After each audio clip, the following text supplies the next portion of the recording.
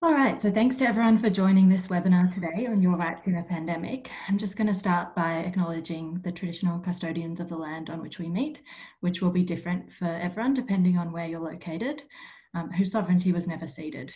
I'm currently on the land of the Wurundjeri people of the Kulin Nation, and I want to pay my respects to elders past, present and emerging, and to any Aboriginal or Torres Strait Islander people attending today's webinar. We are meeting on stolen land and the laws we discuss today are colonial laws. The issues we're going to discuss today are intimately connected to the ongoing violence of colonisation.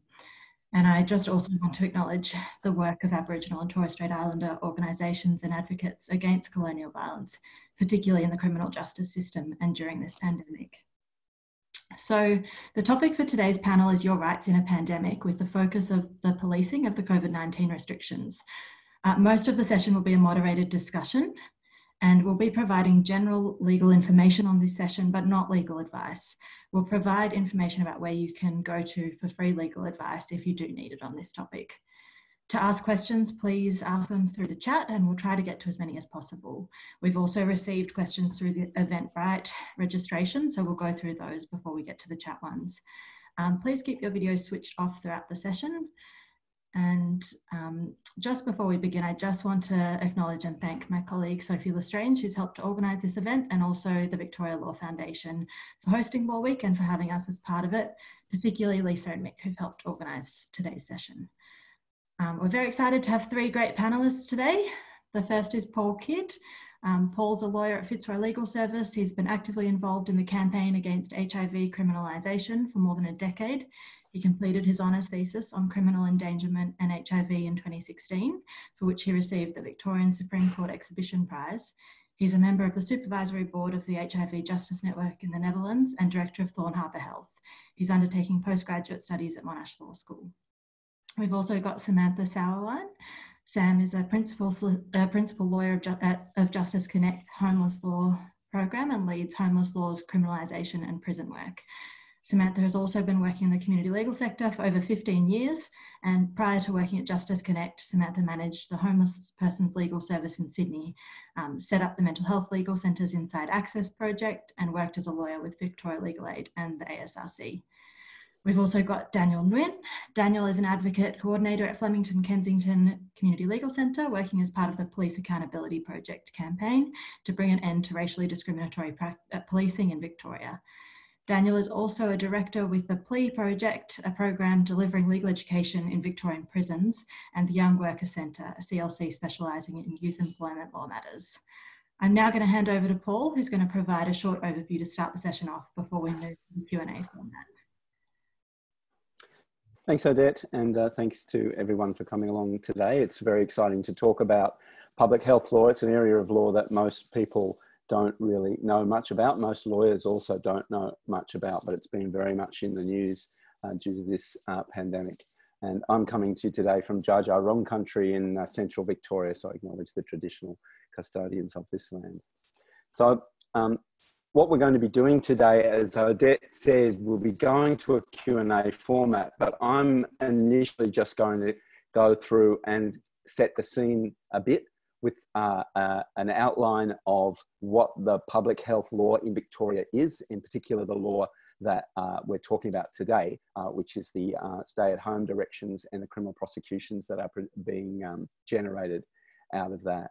So as I say, this is an area of law that most people really know very little about. It's always there. It's actually a very old form of law. The quarantine laws uh, in various forms go back to ancient times. Uh, but it's, uh, it's an area of, of, law that becomes very prominent during times of health emergency, uh, such as the one that we're going through now. And it's an area of law that can be very coercive in its operation and can be very, very extensive, quite surprisingly extensive, I think, for, for many people.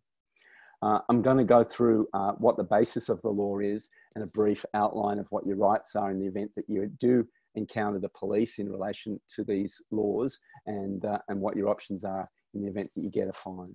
Um, and we'll be then moving on to a broader discussion about these laws. And in particular, we want to talk about the ways they've had an impact on people's human, civil and political rights uh, during this uh, health emergency. So the, the law that uh, is the basis of uh, the current uh, wave of criminalisation uh, is the Public Health and Wellbeing Act. Um, that's a law that's been in place for some time uh, and it replaces previous versions. The Health Act 1958 was the, the, law before that. The objective of that law is to protect public health, as the name suggests, and uh, in the wording of the Act, to achieve the highest attainable standards of public health and well-being. And it's an act that covers a whole lot of different areas of public health and well-being for Victoria. So this is the law that controls, you know, restaurant uh, hygiene and it controls, you know, inspections of air conditioning, cooling towers and outbreaks of various diseases and, and vermin and all sorts of, of areas are covered by this, this uh, law. Um, in particular, the law creates uh, an, a statutory office, the Office of Chief Health Officer of Victoria. The current occupant of that office is Professor Sutton. Uh, and it's and it's this act that gives Professor Sutton his powers uh, as chief health officer. Um, the law includes uh, very specific air, uh, provisions in relation to management of infectious diseases um, and microorganisms and medical conditions. That's an area of the law I've got a long association with through my work in the HIV sector, and that's the area of the law that's uh, been uh, often used to control people with HIV in this state. Um, the chief health officer, because of that law, has a whole range of different powers, including some powers, the public health risk powers, that are there all of the time and which, which enable him to do things like close down restaurants or, or um, you know, respond to uh, minor health problems as they arise. But it also includes these emergency powers. These powers only exist during time when it's declared public health emergency in Victoria. Um, the current public health emergency that's been declared in Victoria is the first one that's been declared under this Act. Uh, and it's the first one that's been declared uh, in living memory. Uh, I don't believe anything was, uh, uh, there's been a public health emergency declaration for at least 60 or 70 years and maybe longer in Victoria. So the situation we're in, where there is a declared state of emergency, is very unusual and almost unprecedented. It's certainly unprecedented in all of our memories. Uh, and during that period of emergency, uh, once the Minister for Health declares a state of an emergency, which she did in March, uh, then the powers that the Chief Health Officer has under the Act, they expand quite radically uh, and they include powers to uh, put people into detention, to restrict people's movements, prevent people coming and going into the area where the emergency is declared, and the current emergency covers the whole of Victoria, uh, and a very broad power to do whatever else uh, the Chief Health Officer considers to be reasonably necessary to protect the health of the public. Um, so those are powers that most lawyers and most legal activists would see as very, very extensive and quite extraordinary. Uh, the power in particular to detain people uh, is in, uh, a power that normally only the courts have. Uh, so it's a, um, a very, very extensive power that very substantially curtails people's liberties and people's rights when it's exercised. Um, under the Act, the Chief Health Officer has the power to make certain declarations, and we'll come to those in a second. Uh, but importantly for our purposes, it's against the law not to comply with the Chief Health Officer's direction. Uh, and the maximum penalty for that is a fine. The amount of fine depends on whether the person being fined is an individual or a corporation. There's one defence that's in the Act for, um, the, for this. Uh, it's the defence of having a reasonable excuse for refusing or failing to comply. Uh, because these, uh, because this offence has never been really used in the lifetime of this act, we don't have a lot of judicial consideration of what all these words mean. So there's a lot of debate about whether um, the, uh, you know, whose responsibility is to demonstrate whether the person didn't have a reasonable excuse for complying. Uh, these, are, these are areas of the law that are still very new, even though the Act's been around for a while. Um, since the 28th of March, the government's uh, added uh, an infringement uh, notice offence uh, for breaching the Act.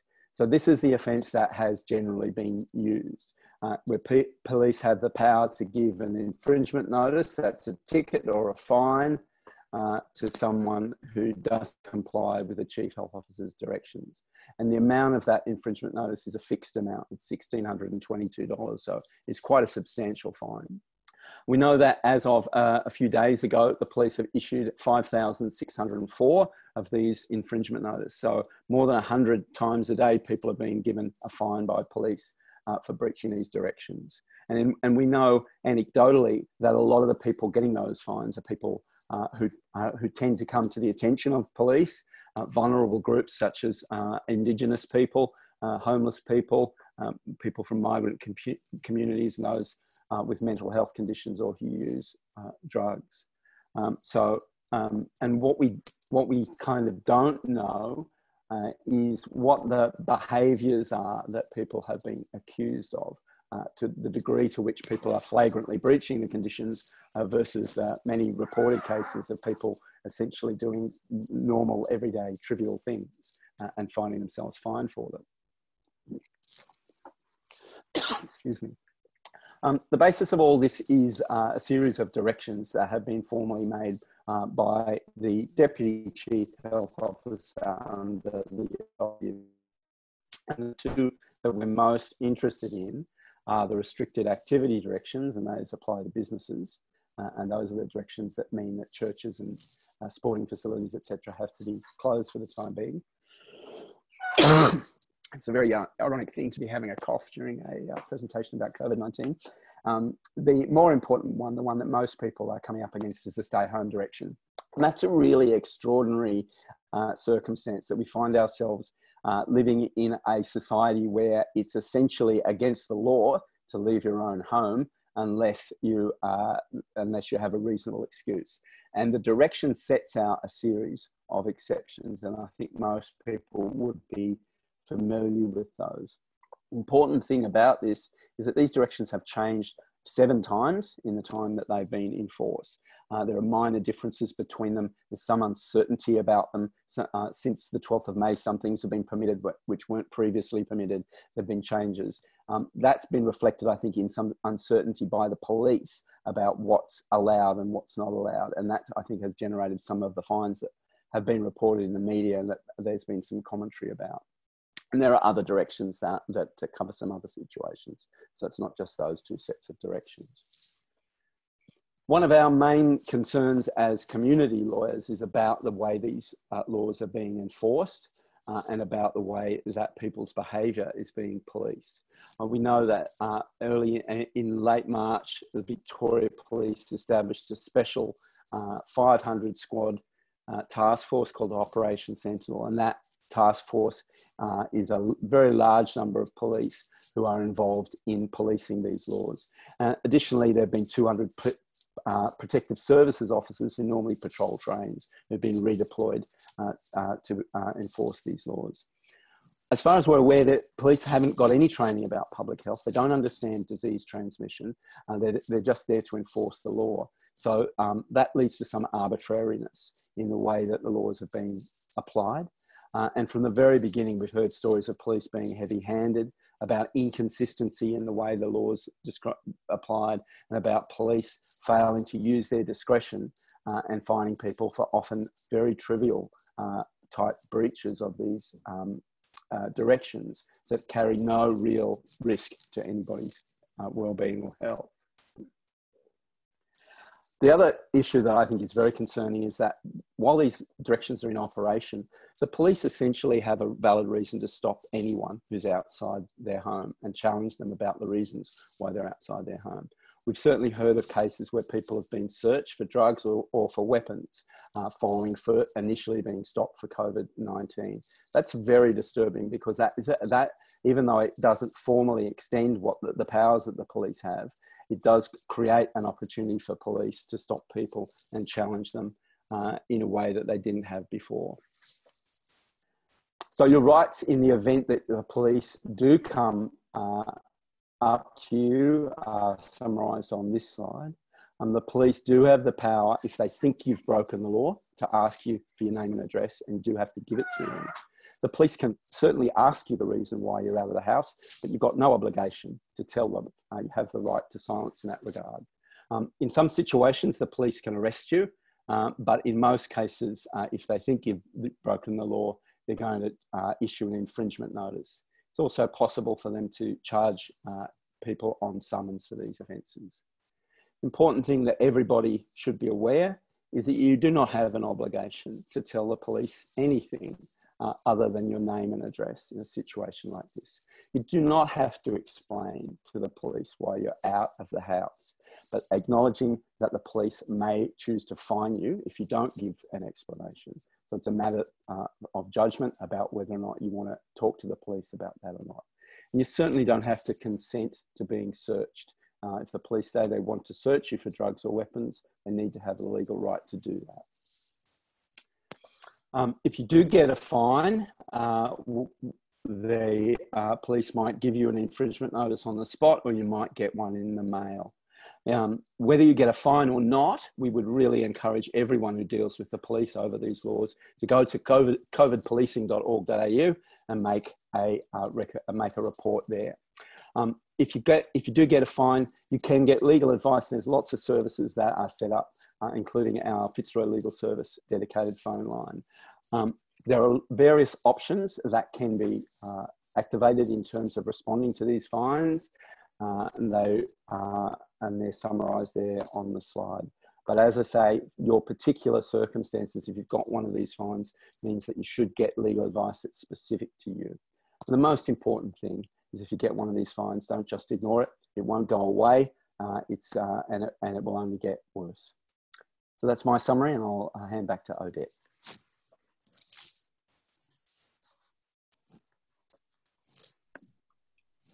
Thanks, Paul. Thanks for that great overview. So I'm going to start just by asking some questions for the panel and then we'll go to some of the questions that have been submitted through Eventbrite.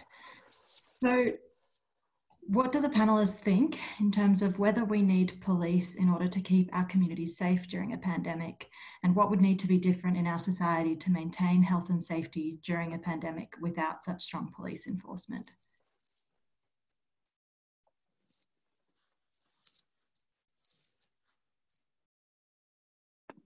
I'm happy to maybe take this one um, to begin with. Um, I think again, when we're looking at um, the current situation we're in, we have to acknowledge that it is a public health emergency, um, and, and, first and foremost, that any response has to be underpinned by a public health response. Um, so we're looking at sort of you know, issues around sort of harm reduction being sort of the key sort of principles that um, need to be enforced to ensure that sort of our community is safe in this period. So police really shouldn't be um, to the main point of call, and nor should a criminal justice response be um, what we're after. So I think you know it's important we acknowledge that, and everything sort of underpins itself from that.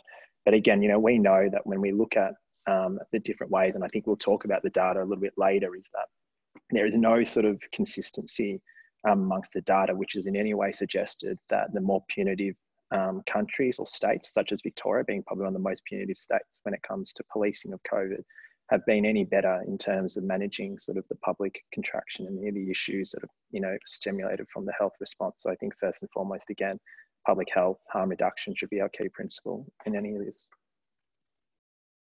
Just to add to that, Daniel, we obviously agree with that. And I think from a perspective of a legal service that's working particularly with um, people experiencing homelessness, this is something that we're constantly um, concerned about, about enforcement based responses where it's more appropriate to think about health based or service based responses. And I think the same applies in a public health pandemic.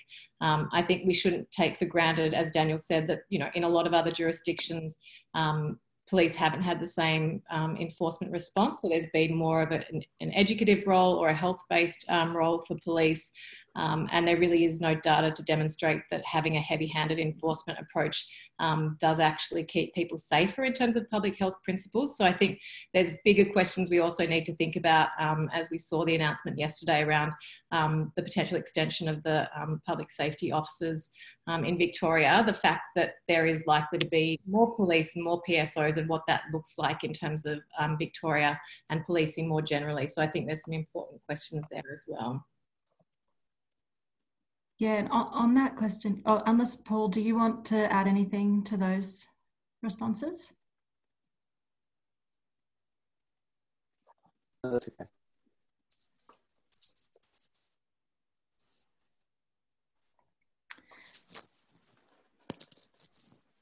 So in terms of that uh, possible extension of PSOs being redeployed um, outside of public transport areas be beyond COVID-19, I'm interested in your thoughts more broadly on that. And I'm wondering if one of you could start for those who aren't familiar with the formal role of PSOs and what powers they currently have. If you could start with a brief overview of what they can do currently, um, what their role is or qualifications, and, and what it would mean for this redeployment to continue after COVID-19.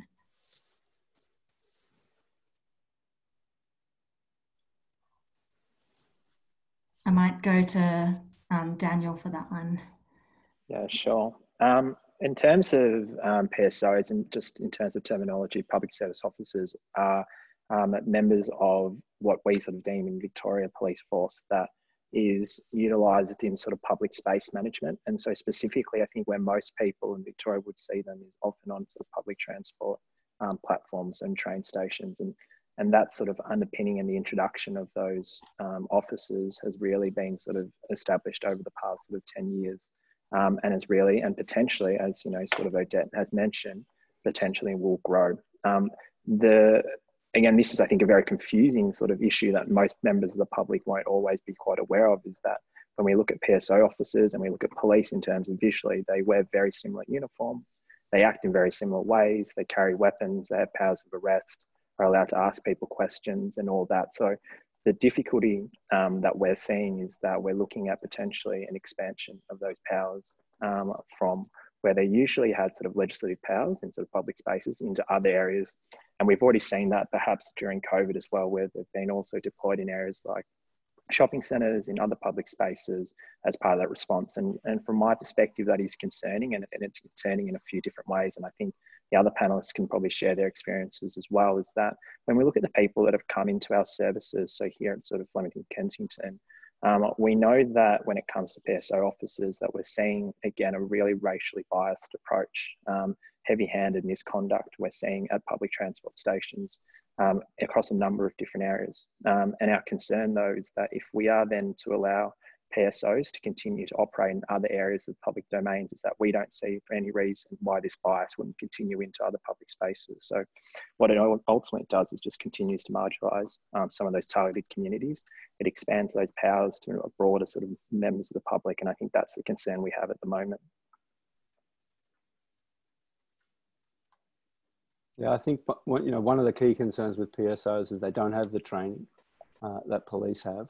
Uh, we have enough concerns about the way that police go about uh, the business of policing without having less well trained police deployed uh, into um, public spaces.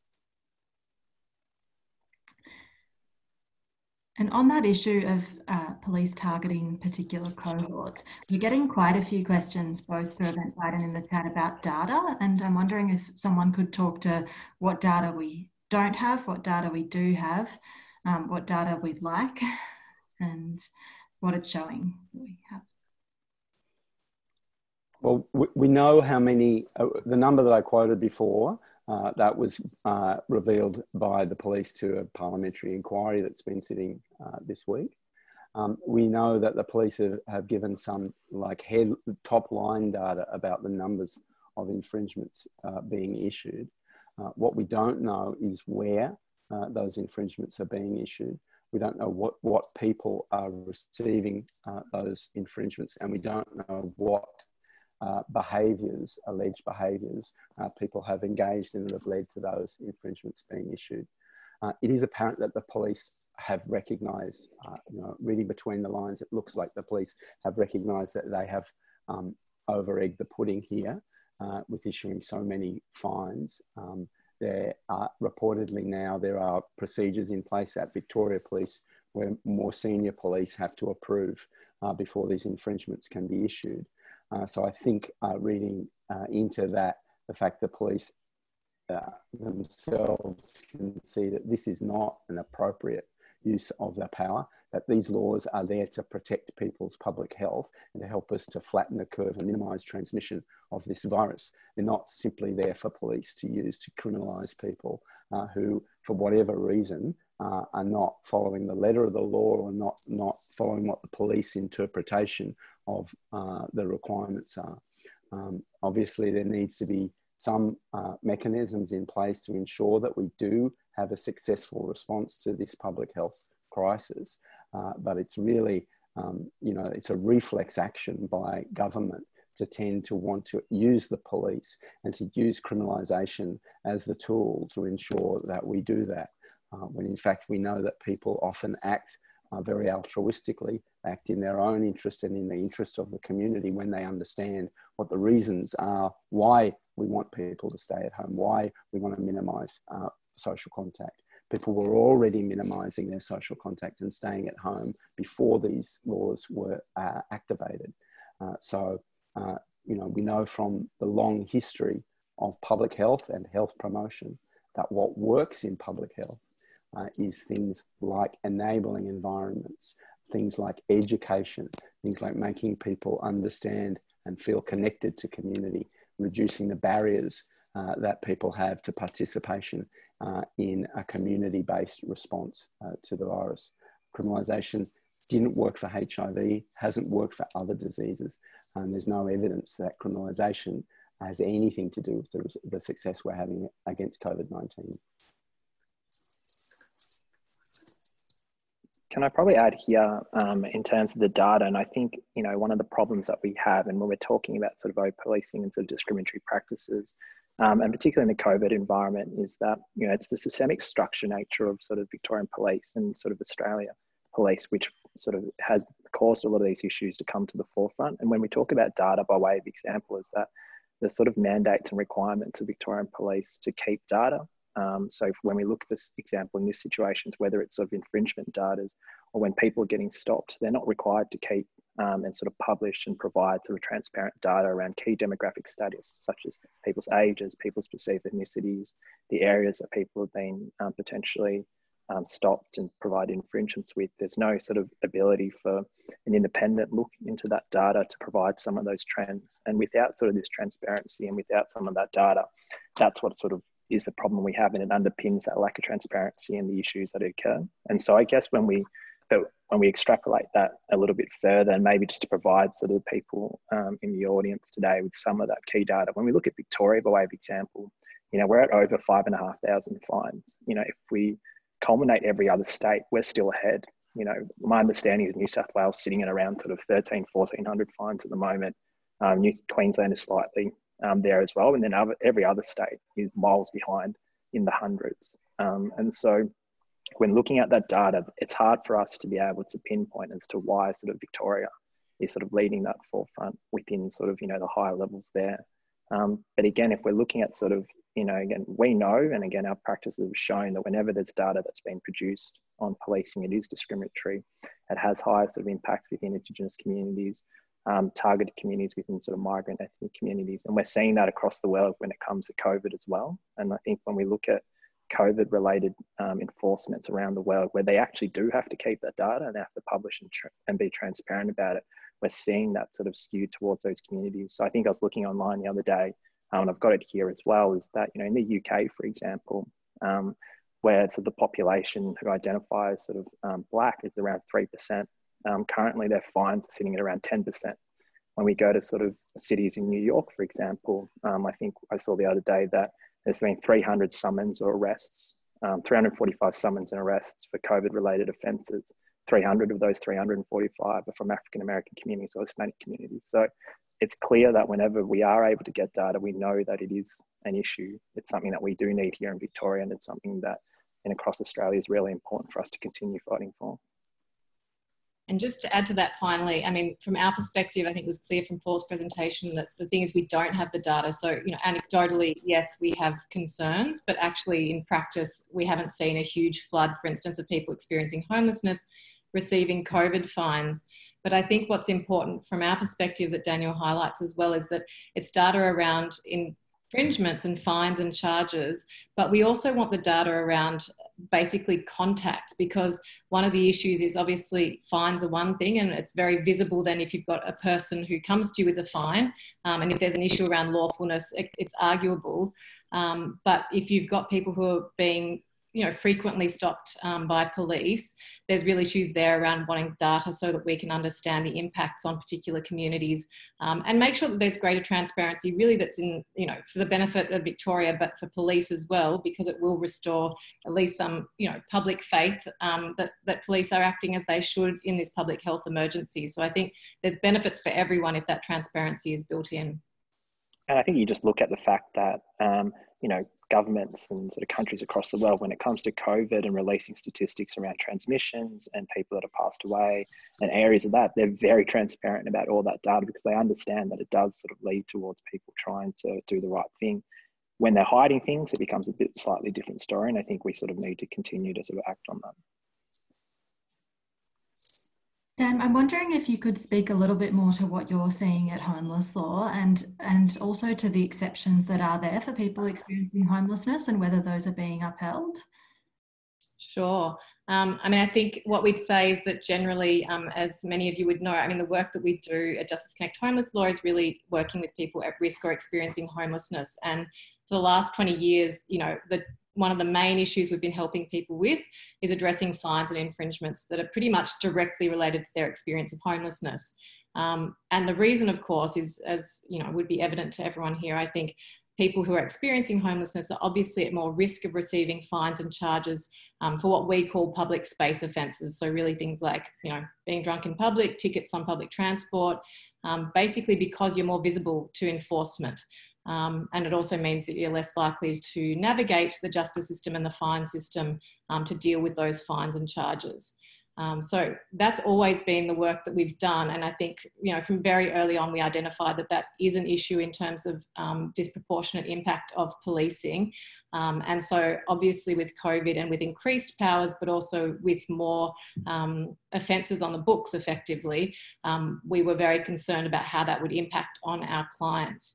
Um, I think there's interestingly two things to say about that. As you mentioned, Odette, there is obviously um, an exemption in the public health direction around the stay at home order. So if you do not have um, an ordinary place of residence, then you are exempted from the stay at home direction. Um, so technically what that means is that if you are experiencing homelessness um, and you don't have a place to reside, then you shouldn't be getting fined under that direction.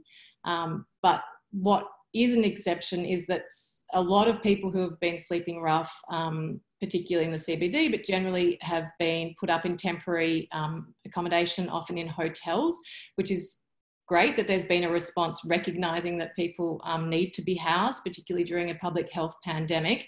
Um, but in the public health directions, what that means is if you're in some sort of hotel accommodation, um, that's considered to be your ordinary place of residence. So many people who have been experiencing primary homelessness have now been put up in hotel accommodation, um, but they potentially are at risk of getting those fines if they're seen to be not residing in those places.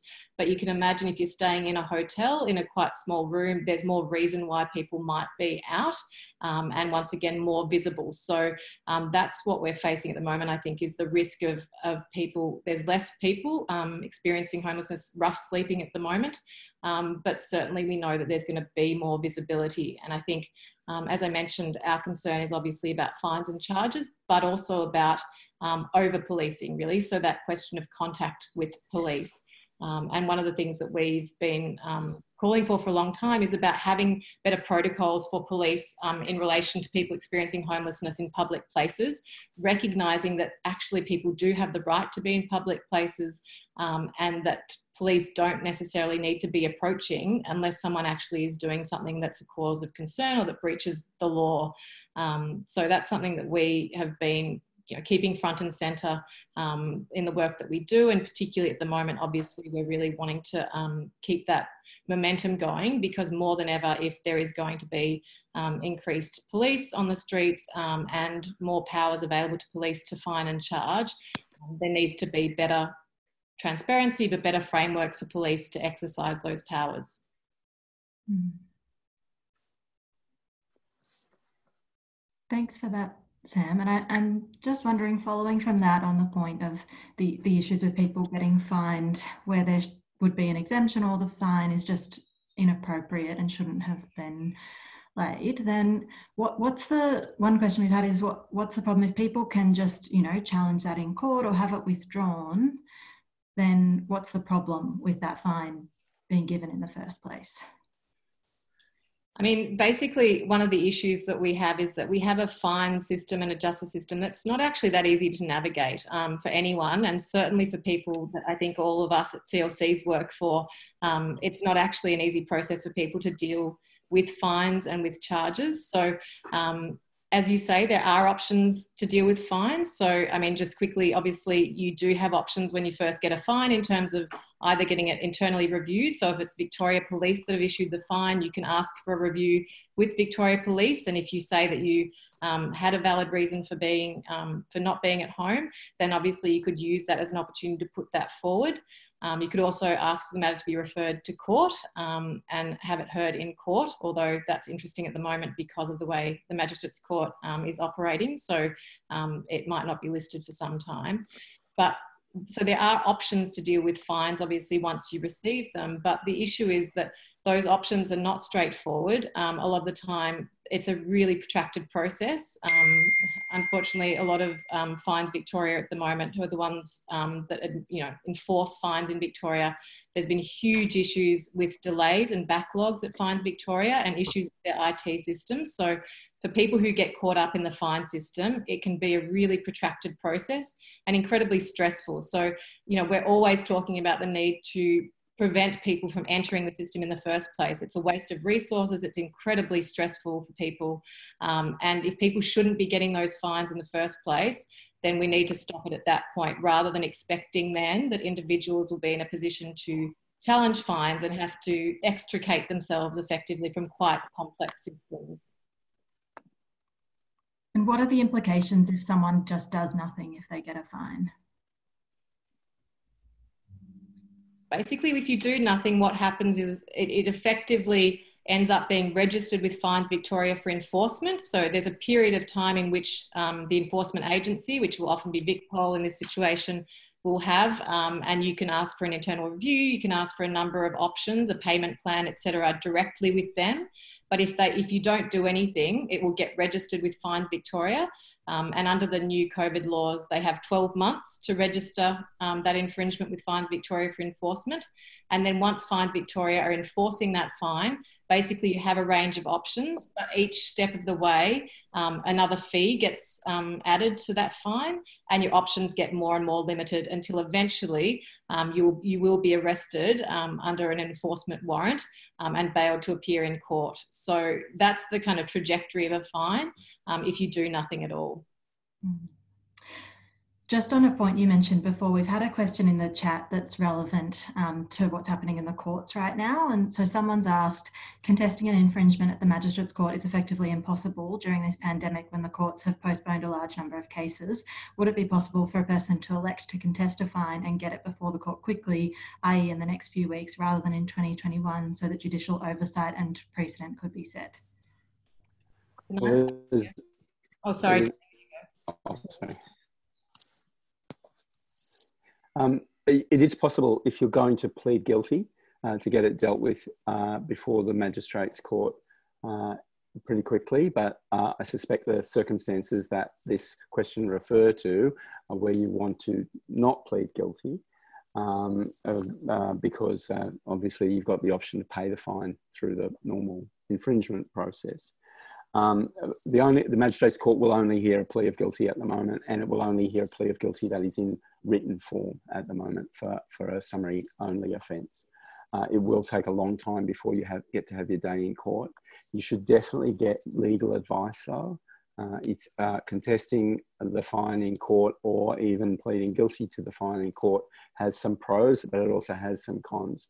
Uh, and depending on your personal circumstances, you should get some advice about whether that's the best option for you. Certainly, if you think you've got a defence and you think that you can defend the, the fine, probably the first step is to ask for that internal review and put to the police in writing the reasons why you think you shouldn't have been fined in the first place. You may well get the fine withdrawn at that very early stage without ever having to go to court.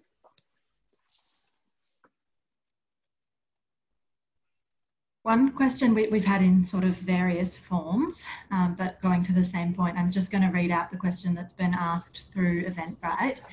Can you exercise while carrying a protest sign? When will Dan Andrews declare that the community can now go out to protest? I fear this will be left um, too late. How can we protest now or at least soon?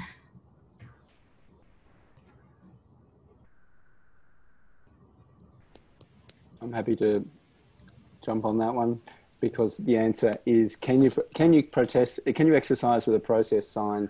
I don't know the answer to that and be cautious about uh, giving a yes or no answer to that. Um, ultimately um, the real question about whether or not you're guilty of these offences is a matter for the court.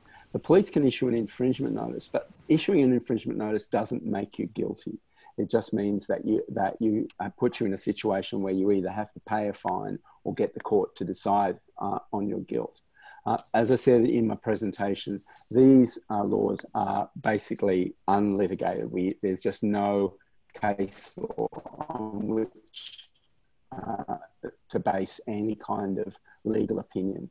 So um, if you wanted to contest a fine on the basis that you know you were you were getting some exercise while you were walking around with a protest sign, uh, then I get some legal advice about that because um, there are some risks associated associated with it. But I don't think anyone's in a position to give a straight yes or no. That's a situation where you'd be guilty or not guilty. Sam or Daniel, do you have any comments on that issue or other sort of the intersection of these rights and the of these laws and the Human Rights Charter and that issue of, of protest laws? Well, it's interesting. I'm just looking at some of the chat, which is kind of fun. I just, this is the good news about doing things remotely is seeing everyone's input straight away. But it sounds like there's been um, some protesting recently. So yesterday's NTU action um, where police came and didn't issue fines. So that's good news. And that someone said that police advised that protesting is considered a recreational activity and therefore can be done in groups of 10 now. Interesting. I mean, yeah, like Paul, I wouldn't want to sort of comment on that situation of exercise with a protest sign. I think um, it's, it's hard to say, but I do think that there's really interesting human rights issues um, raised by these laws, particularly in relation to protesting. Um, and I think some people had some questions about human rights considerations. Obviously, in Victoria, we're um, lucky we do have a Charter of Human Rights. What that means is that basically, when um, government is making laws, but also when um, government, so people like Victoria Police, anyone who's considered to be um, a functional public authority, um, when they're making decisions, they have to basically balance um, people's human rights and they have to look at whether it's justifiable, necessary, and proportionate. Um, so I think that there's really interesting questions, which obviously we don't have time for now um, to go into great detail, but about this issue of, you know, whether or not it, it is justifiable. I think obviously with the public health pandemic, um, I think it is, but whether or not it's proportionate um, in terms of some of the restrictions that there have been in relation to the protests um, around refugees um, recently, where a lot of people got fined in a car convoy. Um, so whether or not there's, you know, and at the moment, protesting is not one of the exemptions in terms of staying at home, but interesting human rights considerations around whether or not it's proportionate um, for people to not even be able to organise political protests for instance, where it's you know socially distant, um, might be in a car, and follows those requirements. Yeah, and we've we've just had someone in the chat also put up a link um, for people that's got some extra reading on that topic if people are interested. We're getting some questions about um, individual legal situations, and I think for those we would um, direct people very strongly encourage you to get legal advice if you're in that situation and to call one of those lines that were on the slide. Which Paul, um, if anyone wants it again, maybe I'll get Paul to share that one one more time. Um, but today we won't be able to answer um, any questions about whether you should contest a fine or not in individual circumstances. Um, Daniel, did you have anything you wanted to add on that topic? No, I think I agree with both um, the other panelists on that. Great. Okay, I might go through a couple other of the a couple of the other questions that we've had through Eventbrite. Um, we've got a question from someone who's asked, as workers, how can we advocate for fairer policing practices?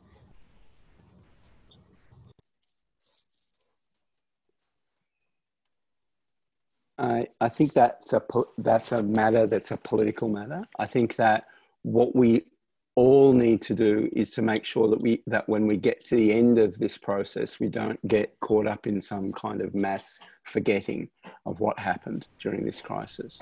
There is a real risk, uh, particularly with the announcement in relation to PSOs that's been uh, discussed here today, there's a real risk of some negative long-term outcomes coming out of this with fewer positive outcomes. Uh, so um, I think we need to continue to work with our political representatives and to continue to work as activists to highlight um, the fact that the, police, the use of the police uh, as a means of enforcing a public health response was uh, uh ill-advised and it created problems and it's created uh, uh, injustices uh, for a lot of people in our society. And that goes to the fact that we are an over policed society in the first place. There are too many cops, uh, there are too many politicians who see um, putting more cops on the beat as being the solution to every problem imaginable. Uh, and the reality is, uh, you know, what we need is a society that that where people uh, are educated, supported, and encouraged to uh, be collaborative in their response to health challenges rather than coerced into behaving in particular ways. I think um, following on from that, I think there's a really good opportunity here um, with respects to sort of a public um, campaign is that with sort of the COVID and the restrictions and the enforcements around that, and whether it's Victoria or across sort of the countries, that a significantly broader segment of our community for the first time have sort of faced what many people in our communities who are targeted daily have had when sort of doing day-to-day interactions within public space. So whether in terms of what sort of Sam said before with all the clients that she sees and sort of the homelessness and communities and whether it's sort of in the work that we're doing here uh, at Flemken with sort of uh, migrant communities, young people, um, Indigenous communities, is that those types of communities have been targeted, you know, since day one. Um, and for the first time, we're seeing that sort of spread across, I guess, our whole um, communities. And I think it's about leveraging that and going, perhaps building from that and going for the first time, seeing if we can uh, give people a platform and particularly center the voices um, of those targeted communities and continue on and ensure that when we get out of this COVID environment, it doesn't just go back to sort of how it was before. And that for the first time, utilizing some of those shared experiences and building a campaign around that.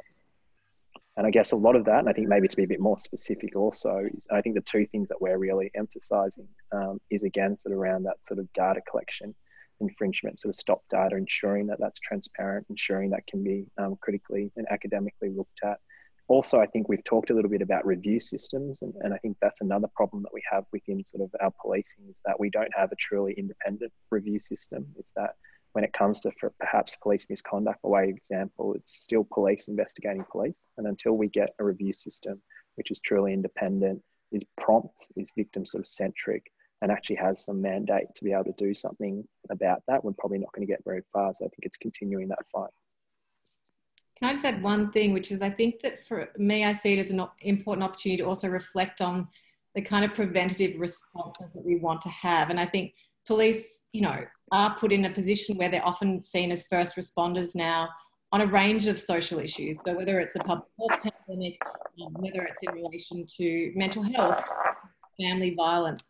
Um, and I think it's a real opportunity for us, um, yeah, as Daniel said, to coordinate and think about what are the alternatives to that? What are the, how do we create a preventative service based response to these issues that doesn't rely on police and think about what we want the role of police to be. So I think, you know, a lot of police are being put in situations where they just don't, I mean, they're not in a, they don't have the expertise to deal with it. So we know that we've got a service system that is going to be more responsive and a whole range of other tools. So how can we, you know, be clear about the role of police and allow a more service and health based response by having services that do have that expertise stepping in there. So I think it's always a tension about how much police are expected and kind of expand into those spaces.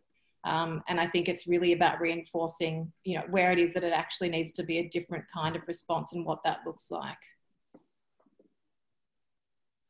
Those are all really valuable and important points. And I, I just want to ask one follow up question for you, Daniel, on um, the processes that are there for reviews. And we've got on Paul's slide, you know, one option for people is to make a complaint against the police.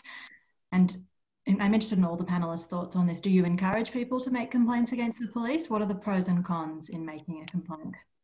Yeah, I think it's really important um, in terms of if you do feel that police, um, if there's been police misconduct in whatever way that may be, and I think particularly though when there is perhaps criminal charges um, pending, is to get legal advice. I think Paul sort of touched on it before, is that there are so many intricacies when it comes to um, police complaints and investigations.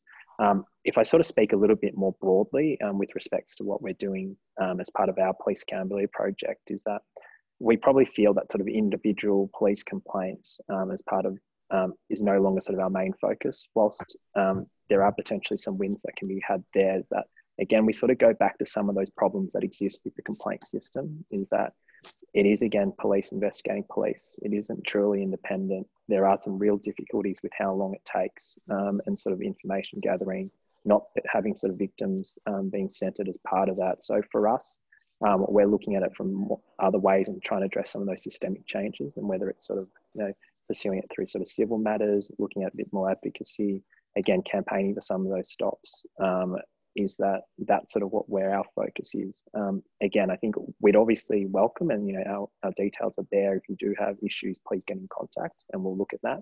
Um, but I think the main thing though is that sort of individual complaints aren't going to be the main thing that's going to address this um, systemic approach. I'm just conscious that we have quite a few questions to get through and not a lot of time left. I might throw to Sophie now to um, highlight some questions that we're getting from the chat.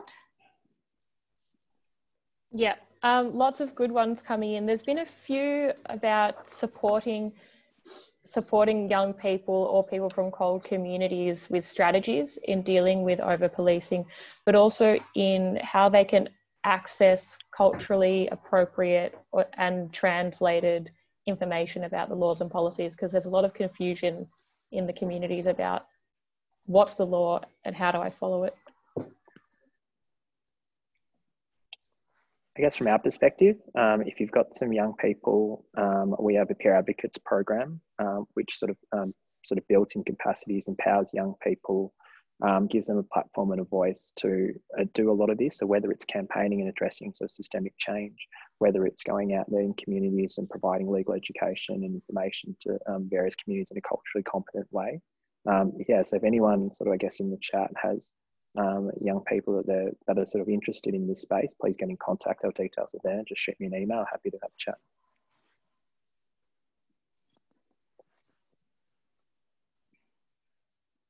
Yeah, this is a general challenge that we face uh, all of the time, and it's particularly hard uh, to support uh, the people on the margins in this regard when we're when we're trying to react very quickly to a suddenly changed legal uh, situation. So acknowledge certainly that there isn't enough information out there.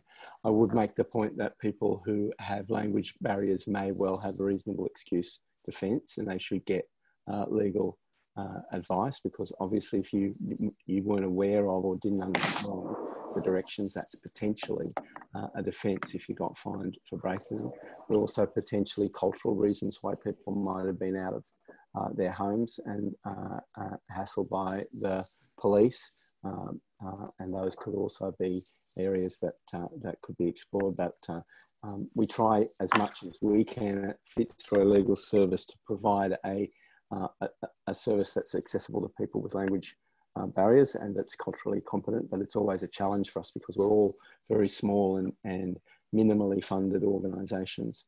Uh, we do the best that, that we can, and uh, at a time like this, it's, it's particularly challenging.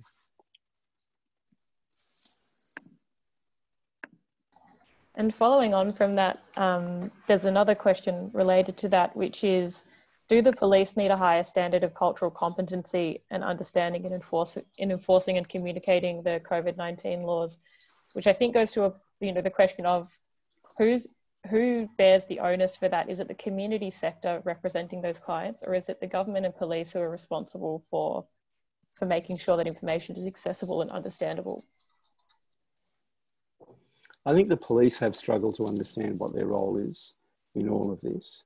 Um, but the bottom line is the police are a tool and they're a, uh, a tool that is really there only to respond to social problems with one single response, which is to criminalise people. Um, what we really need is not just cultural competence within the police. We need to reform the whole institution of the police. We need to um, make the police more accountable, more representative of the community that they serve, and uh, to cease to have the police operating uh, as um, you know controllers of people's behaviour in the way that they do, using both violence and force as well as criminalisation as the tools for um, for compelling people to behave in what individual police have decided, uh, rightly or wrongly, is the right way to behave. Yeah, and I think Paul's absolutely right. You know, it is about sort of reforming the system. But again, when we look at sort of what other states have done during COVID, like ACT by way of example, um, you know, police haven't issued a single fine there. Um, and they have sort of taken that approach of sort of educate and inform. Um, whilst I don't, you know, agree that they should be the main people doing that, I think it's a much broader campaign, and sort of governments need to be a lot more proactive in sort of putting that messaging out and ensuring that there's culturally competent um, basic information that can be easily accessible. Because I think everyone can agree, anyone on this chat, um, whether it's the panelists or those that are participating through Zoom elsewhere, is that we've all been confused. And, you know, even as lawyers, even as legally trained people, as people, you know, very different fields that do this day to day, I still don't know what my basic rights are walking around sometimes. And I think that therein lies the problem. And then also trying to criminalise the approach and have enforcement of policing being the key sort of cornerstone of any education program. I'm going to ask one quite specific question. Um, if the panelists have any experience with this or thoughts on whether how body worn camera footage is being used in the policing of fines um, can a person who's been fined access body worn camera footage uh, or can their lawyer access it as well? I might start with Daniel on that one. Sure. Um, I did sort of speak to um, our um, police accountability principal lawyer on this issue, and I think again it's a little bit unclear. I think broadly speaking, um, if there are criminal sort of indictable proceedings, which is for serious matters, um, that body worn um, camera is provided within seven days. If it's a more general sort of criminal proceeding as part of any police brief, it is. I think that the, the clarity around this is the, di- the difficulty is that we do know that if you do file a police complaint, you have the ability to view that um, the body worn camera. So if it's a police misconduct issue, that that's available. As a um, project, we have previously attempted to file um, freedom of information um, documents to obtain the footage or obtain at least transcripts of um, body worn cameras. And we have been told, um, and rulings have been put forward, that the freedom of information sees the body worn cameras as protected information and therefore not um, disclosable. So that's the current position that we have at the moment. Whether they can be applied in this case, I think again is very questionable um, and wouldn't be something you would rely on um, if you were looking as a defence. But I think again, speak to your legal representative about that one. Okay, unless anyone has any quick comments on body worn footage, we're almost out of time. So I'm just going to ask one final question to panelists, which is if you had you know, one key thing that you want to see changed in terms of policing in Victoria um, post COVID, or one key message that you want to you know put out there for this webinar for people watching afterwards, what what would that be?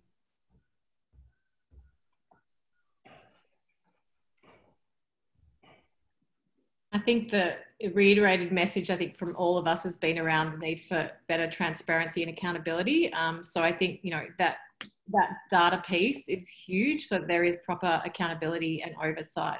So I think that's, yeah, one big thing that we would say as well. I think from my end, again, it's sort of the reform agenda. Um, divesting away from policing. And, you know, we only have to look in the past few years as to just the significant increase in police budgeting um, and also sort of correction facilities um, and ensuring that instead of that money going that way, looking at sort of some of the issues that are underpinning it, making sure that we do have, um, you know, access to housing, access to health, access to some of those basic um, rights that we're seeing is so important during the COVID um, epidemic that's necessary and ensuring that that's carried across um, our society into the future. Yeah, I think Daniel uh, referred earlier to the fact that there are some people who are finding themselves fined who haven't uh, aren't used to coming to the attention of the police. So you know, if you're out playing golf and you got fined, or you're having a barbecue in the park and you got fined, and you feel like that was unreasonable and uh, and unfair of the police to reacted. Well, you know that's an insight into the daily reality for a lot of groups in uh, our society who are always coming to the attention of the police. Uh, and that's, uh, I think, an insight into the need for reform of policing as a whole across the whole of our society uh, to reduce uh, the police's power to, um, to, to hassle people on the street, to target vulnerable groups, uh, to reinforce the structural inequities that lead to people having problems in the first place. those are insights that I hope some people will carry forward and see the, see the, um, the meaning behind uh, those of us who are calling for reform of policing, uh, that uh, in fact the police often seem invisible and often seem like they're protecting our rights. Uh, but for a lot of a lot of groups in society, the police are constant, uh, constantly keep them under surveillance, constantly engaging with them, constantly criminalising them. Okay, we are bang on two o'clock, so I'm going to finish it there. Thank you very much to all the speakers. It's been a really great session. I've certainly learned a lot from hearing from all of you, so I hope everyone has learned something watching this. Um, thanks to everyone for participating and watching and for the great questions. Um, if you want, if you have any follow-up questions, feel free to get in touch. Um, and yeah, please make sure you noted down these resources on the slide as well. Thanks, everyone. Thank you, everyone. Thanks, Odette. Thanks.